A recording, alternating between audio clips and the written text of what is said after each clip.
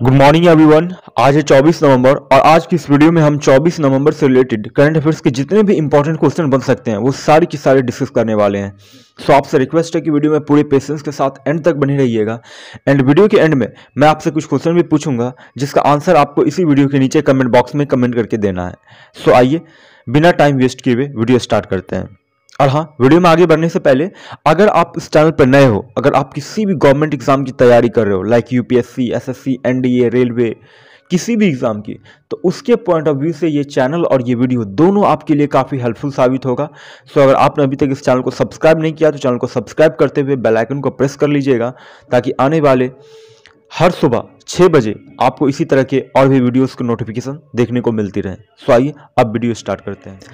जैसा कि कल हमने पढ़ लिया था, तिरपनवे international film festival of India में तेलुगु सुपरस्टार चिरंजीवी को Indian film personality of the year 2022 चुना गया। खालिद जावेद द्वारा लिखी गई द पैराडाइज ऑफ़ फ़ूड नामक पुस्तक को साहित्य के लिए जेसीबी अवार्ड दो हज़ार बाईस दिया गया। सीओपी ट्वेंटी द्वारा गरीब देशों के समर्थन के लिए loss and damage fund launch किया गया है। 21 नवंबर को भारतीय सेना द्वारा राजस्थान में शत्रुनाश अभ्यास का आयोजन किया गया। हाल ही में गुजरात के हजीरा में रिलायंस इंडस्ट्रीज़ द्वारा भारत का पहला और दुनिया का सबसे बड़ा कार्बन फाइबर प्लांट बनाने की घोषणा की गई है। सीरम इंस्टीट्यूट द्वारा भारत का पहला सर्वाइकल कैंसर वैक्सीन लॉन्च किया जाएगा।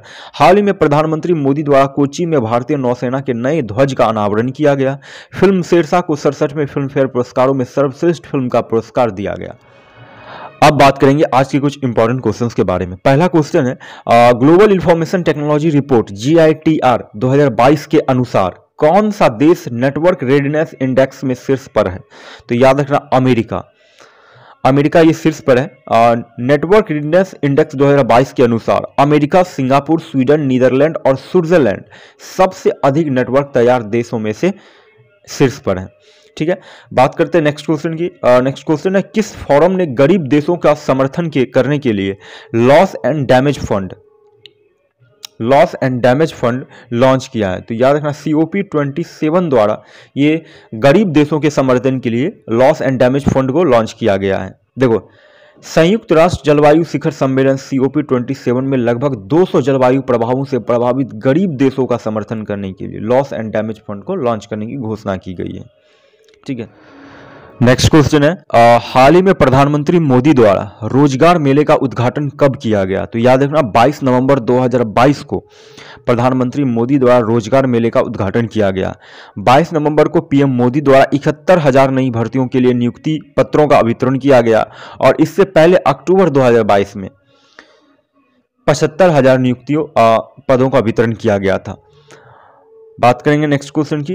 नेक्स्ट क्वेश्चन है हाल ही में कजाकिस्तान के नए राष्ट्रपति कौन बने? तो याद रखना कासिम जोमाट तोकाएव को कजाकिस्तान का नया राष्ट्रपति बनाया गया है। और कुछ महीने पहले ही हमने पढ़ा था कि कजाकिस्तान की राजधानी नूर सुल्तान से बदलकर अस्ताना कर दी गई है। अभी करंट में कजाकिस्तान की जो राजधानी है वो अस्ताना है। ठीक है नेक्स्ट क्वेश्चन है आ, किस मंत्रालय द्वारा भारत की पहली आत्महत्या रोकथाम नीति? की शुरुआत की गई। तो याद रखना, केंद्रीय स्वास्थ्य मंत्रालय द्वारा की गई है इंपॉर्टेंट क्वेश्चन आप इसे ध्यान से देखिएगा। अभी हाल ही में केंद्रीय स्वास्थ्य मंत्रालय द्वारा भारत की पहली आत्महत्या रोकथाम नीति की शुरुआत की गई। देखो, इसका उद्देश्य 2023 तक आत्महत्या, मृत्यु दर में 10 परसेंट तक कमी लाना है। एक रिपोर्ट के अनुसार, पूरी दुनिया में लगभग आठ लाख लोग आत्महत्या करते हैं, जिसमें से एक लाख चौंसठ हज़ार लोग तो भारत से ही होते हैं। ठीक है? इंपॉर्टेंट क्वेश्चन है आप इसे ध्यान रखिएगा। नेक्स्ट क्वेश्चन है आरिज खम्बाटा का हाल ही में निधन हो गया। आ, ये कौन थे? तो याद रखना रसना ग्रुप के संस्थापक थे। आप जो बचपन में हम लोग जो रसना पीते थे तो उन्हीं उन्हीं के ये संस्थापक थे। रसना ग्रुप के संस्थापक और अध्यक्ष खारिज खम्बाटा का पचासी वर्ष की उम्र में अहमदाबाद में हृदय गति रुकने से मृत्यु हो गई। 1976 में याद रखना खम्बाटा ने लोकप्रिय संतरे के स्वाद वाली पे ब्रांड की स्थापना की थी। मैंने तो खासकर बचपन में बहुत पिया है रसना, वो पानी में मिला के पिया करते थे, एक दो रुपए में आती थी। तो बहुत मज़ा भी आता था पीने में। चलिए बात करते हैं नेक्स्ट क्वेश्चन की। नेक्स्ट क्वेश्चन है, हाल ही में किसने ग्रीन पोर्ट और शिपिंग के लिए भारत के पहले नेशनल एक्सेलेंस सेंटर की घोषणा की है? तो सर्वानंद सोनोवाल, ये फॉर्मर सीएम थे असम के, इन्होंने अभी हाल ही में नेशनल एक्सेलेंस सेंटर की घोषणा की है। नेक्स्ट क्वेश्चन है, हाल ही में देश का दूसरा नैनो खाद्य प्लांट कहाँ स्थापित किया जाएगा? नैनो खाद्य प्लांट तो याद रखना, ये प्रयागराज इलाहाबाद में इसे आयोजित किया जाएगा, नैनो खाद प्लांट को, देश का दूसरा। ठीक है? नेक्स्ट क्वेश्चन है, हाल ही में किस राज्य ने भारत का पहला हाथी मृत्यु लेखा परीक्षा ढांचा पेश किया है। तो अभी हाल ही में तमिलनाडु द्वारा किया गया भारत का पहला हाथी मृत्यु लेखा परीक्षा। देखो, अब बात हो रही है तमिलनाडु की। तमिलनाडु से रिलेटेड कुछ इंपॉर्टेंट चीज़ें जान लेते हैं। तमिलनाडु की राजधानी है चेन्नई। स्थापना हुई थी चौदह अप्रैल को। वर्तमान राज्यपाल है यहाँ के आर एन रवि और करंट सीएम है एम के स्टालिन टोटल ज़िले हैं थर्टी एट राजकीय पक्षी है यहाँ का पन्ना कबूतर। लोकनृत्य भरतनाट्यम। पड़ोसी राज्य है आंध्र प्रदेश, कर्नाटक, केरल। राजकीय भाषा है, तमिल। देखो, तमिलनाडु के मुख्यमंत्री जो है अभी करंट एम के स्टालिन द्वारा हाल ही में एनम एजुथम योजना की शुरुआत की गई है। एनम एजुथम यह हाल फ़िलहाल की कुछ करंट स्कीम्स है जो अभी तमिलनाडु में चल रही हैं। मुख्यमंत्री एम के स्टालिन द्वारा सरकारी स्कूलों में मुफ़्त नाश्ता योजना की शुरुआत की गई है। ठीक है? और हाल ही में तैरते हुए सौर ऊर्जा संयंत्र की स्थापना तमिलनाडु में की गई। और तमिलनाडु ने best mountain hill view destination के लिए आउटलुक ट्रैवलर अवार्ड्स 2022 का रजत पदक अपने नाम किया है तमिलनाडु। और तमिलनाडु सरकार द्वारा हाल ही में छात्राओं के लिए पुधुमई पेन योजना की शुरुआत की गई। ये सारी जो जो योजनाएँ मैं आपको बता रहा हूँ ऑलरेडी मैंने अपने प्रीवियस वीडियो में डिस्कस कर रखा है पूरी डिटेल में।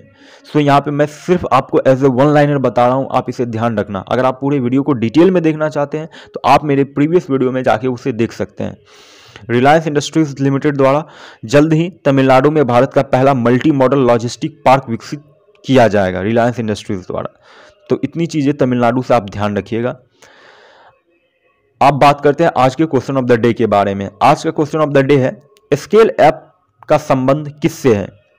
ऑलरेडी मैं बता चुका हूँ। सेकेंड है, किसे हाल ही में पीएम केयर्स फंड का ट्रस्टी बनाया गया है? दोनों सिंपल क्वेश्चन है, दोनों ऑलरेडी मैंने अपने प्रीवियस वीडियो में डिस्कस कर रखा है। सो so, अगर आपने उस वीडियो को नहीं देखा तो आप जाकर देख सकते हैं। सो so, अगर आपको ये वीडियो थोड़ी सी भी हेल्पफुल लगी हो तो वीडियो को लाइक और चैनल को सब्सक्राइब करते हुए जाना ताकि हर सुबह आपको छः बजे इसी तरह के और भी वीडियोस के नोटिफिकेशन मिलती रहे। सो so, आज की वीडियो कैसी लगी? वीडियो के बारे में अपनी राय नीचे कमेंट बॉक्स में हमें ज़रूर दीजिएगा। आपको अच्छी लगी बुरी लगी जैसी भी लगी हो क्योंकि आपके कमेंट्स को पढ़ के एक, एक मोटिवेशन मिलता है। और वीडियो आपको जैसी भी लगी हो, आप नीचे कमेंट बॉक्स में कमेंट करके हमें ज़रूर बताइएगा, ताकि हम कोशिश करेंगे और इम्प्रूवमेंट करने की, ठीक है? सो आज की इस वीडियो को यहीं तक रखते हैं। मिलते हैं कल फिर से एक नए वीडियो में। तब तक के लिए जय हिंद, जय भारत।